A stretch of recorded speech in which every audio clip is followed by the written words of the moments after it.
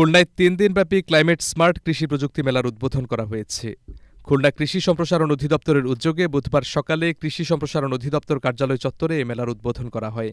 কৃষি সম্প্রসারণ অধিদপ্তর খুলনা অঞ্চলের অতিরিক্ত পরিচালক মোহাম্মদ ফরিদুল হাসানের সভাপতিত্বে অনুষ্ঠানে প্রধান অতিথি ছিলেন কৃষি মন্ত্রণালয়ের সচিব ওয়াহিদা আক্তার।